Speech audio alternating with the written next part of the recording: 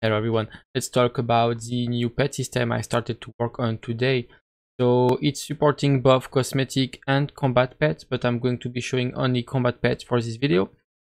So the way it's working is that um, I added a new effect type. So if we look at this here, we see that we have the Bone Warrior. It's an effect type, uh, I mean it's an effect of type pet.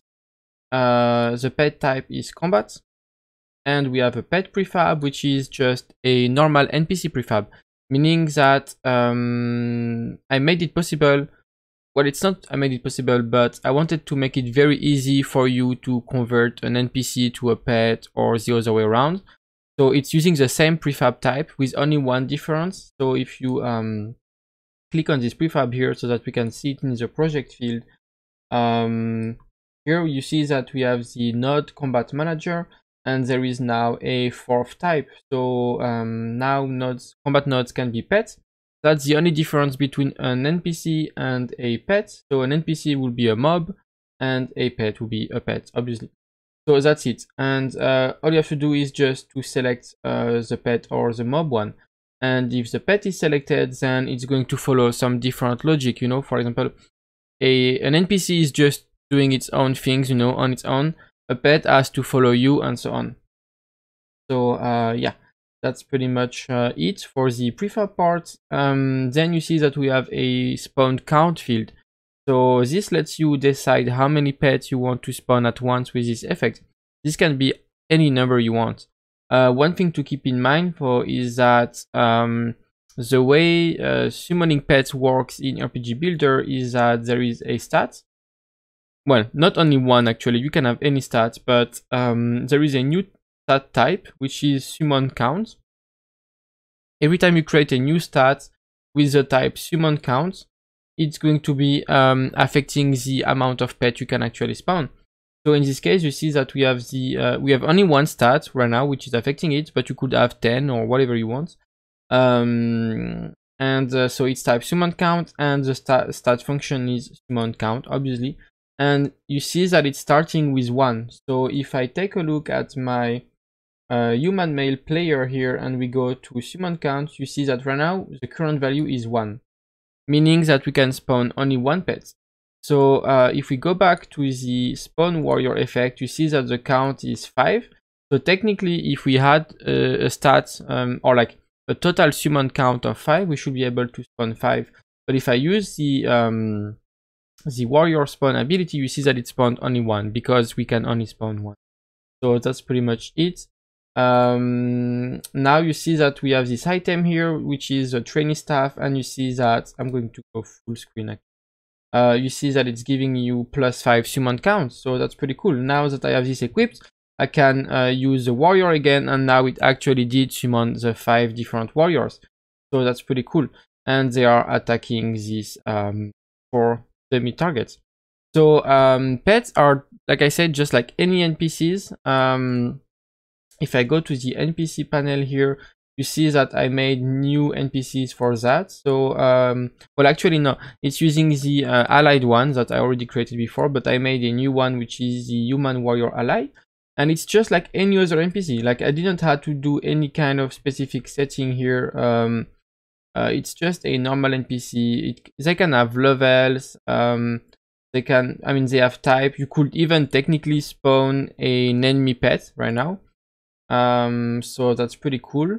Uh, and they have normal settings like aggro range. Um, the only setting that they need specific to them is distance from owner. So this is uh, when they will actually be done with killing um, target. I'm going to be showing you that it's pretty straightforward. It's just at which distance they should stop from you so that they don't, you know, stack up on you. Um, but then they have normal abilities just like any other NPC. I'm going to be uh, removing this dummy target here because I actually don't specially want this to, uh, to, to be fighting forever.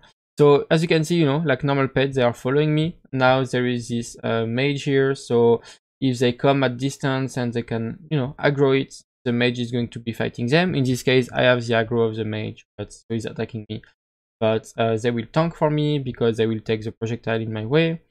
Uh, I'm going to be spawning a mage now. Oh no, never mind. I don't have a um, uh, enough summon count. So let's just put it to I don't know 15 or whatever. Uh, there is no limit right now on how many pets you can spawn. Uh, so let's just spawn a few, and let's just go to uh, mage spawner. So we are here, um, and we kind of go. You can see that you know they follow us just like they should. Let's go see what happens if we start to aggro. So you see that the mage actually start aggro the um the enemy mage. So yeah, they are just fighting as normal NPC with the only difference that they are your actual pets and they are following you and you own them. So that's pretty cool. Um, now, um, as you saw, uh, I'm, you know, the way I set up those abilities here is that you have the spawn effects. So, um, for example, spawn warrior or spawn mage, it's the exact same one with a different uh, NPC prefab. And these are triggered by an ability. And here we have those two abilities here that you can see there. Um, and these abilities are very simple. Uh, they are both the same things. Um, so they are just self-target abilities, meaning that it will not check anything. Um, you know, uh, if it's like hitting anything, it's just going to trigger the effect instantly on you, which is what you would like to do most of the time. Um, if uh, I mean for those kind of summon spells, but uh, I actually did not test that myself before this video so I hope it's working so I don't have to restart the video but um, technically you should be able to um, make it as, uh, for example I don't know any type of uh, ability and spawn a pet um, if this ability actually works. So let's try with a projectile. Um, count one. Going to hit one unit. And uh, so it's going to trigger the spawn uh, effect and I'm going to be um, let's leave a play mode actually for that. Um, because there are, there are quite a few things to. Uh, so for this spawn alarm mage let's make it like I said an ability. Um, this is all good. We will be using the fireball projectile and the fireball animation. And it's going to have a cast time of uh, 0 0.8 0 0.9 stun time. That's it i think be a good speed count max unit okay so let's try that now um, when we use this ability it should already uh, be completely different so instead of um, instantly be used and uh, spawns us, you know, um, skeletons each, um, skeletons. Um, oh wait, I forgot to, really important. The projectile is now triggered as soon as we use the ability, but it should be on completed. So this uh, projectile will only be casted or gone at the end of the cast. So um, I really hope it works so I don't have to restart this video, but um, let's go here and see what happens. I'm going to be adding myself, uh, never mind, we already have the stuff. Fine, we can see. So, yeah, so I hit the enemy with my uh, fireball, and as you can see, it's spawning in um, a pet every time. So, like I said, I mean, it was kind of a stupid example to be fair, but uh, it's just to show you how flexible the entire system uh, in RPG Builder is, and you can trigger effect out of any action you want. Um, I'm not sure if there is a really cool use case for that specific example, but I mean, it can be, you know, it can be a nice, nice um, feature to, to have in your game. So that's it. Uh, this video is already pretty long, probably way longer than it should be. But uh, thank you for watching. I hope you like it and uh, make sure to join the Discord, subscribe to the channel and see you in the next video.